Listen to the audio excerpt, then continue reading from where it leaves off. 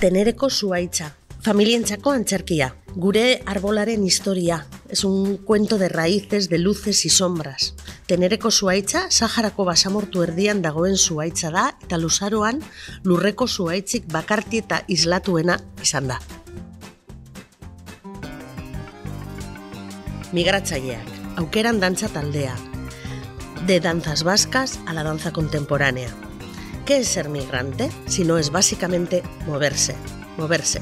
La compañía Auquera Danza propone al público un ejercicio de apertura a ese movimiento. Estar dispuesto a trasladar el cuerpo y volver a descubrir el cuerpo que es uno mismo en ese nuevo lugar. Redada familiar. Vaivén Producciones. Una comedia para no fiarse de nadie.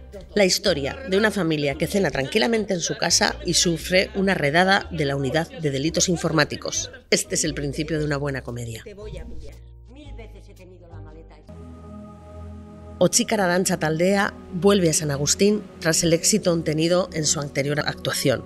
14 bailarinas y bailarines de Durango y del Duranguesado para hablarnos de la importancia que ha tenido el mar en el contacto con otras culturas.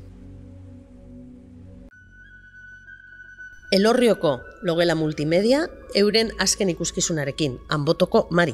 Anbotoko mari antzerkia, bideoanimazioa, interakzioa eta musika biltzen dituen antzeslan multimedia da. Familia osoarentzat. Imanol Oroitus, organizado entre Ría Uso El Cartea y San Agustín Culturgurea.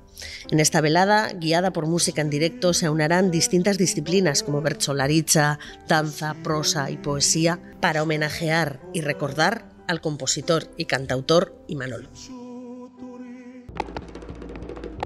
Kukai dantza taldeak, John Maia eta Andres Marin dantzariarekin jarin proposatzen digute.